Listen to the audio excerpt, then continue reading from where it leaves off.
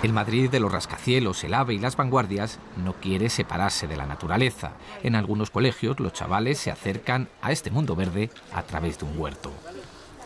Pues lo que conseguimos es que, aprendan a amar la, naturaleza, que sepa que hay un, no sé, que las plantas salen de, la tierra, que, hay un ciclo que lo determina las estaciones del año y que nos tenemos que supeditar a eso y que es importante que conozcan pues de dónde vienen los alimentos y esto.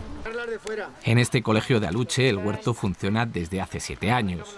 Arrancó, como toda iniciativa, con mucho esfuerzo y sobre todo cariño. Desde hace tres años el Ayuntamiento de Madrid les proporciona material, semillas, abonos y les asesora en siembras y rotaciones. Trece chavales, uno por clase, integran cada semana y de forma rotativa la patrulla verde. Se encargan de regar las plantas de interior, vigilar que no se tire nada y sobre todo del huerto, de hacer el semillero en otoño, de dar una vuelta a la tierra en invierno y de plantar en primavera. Haciendo primero unos agujeros, después cogemos los cepellones, los metemos en agua para que no haga falta regar en dos o tres días. Con las manos. Así. Muy bien, perfecto. Los niños nos aseguran que les encanta el huerto y sus caras no dejan lugar a duda.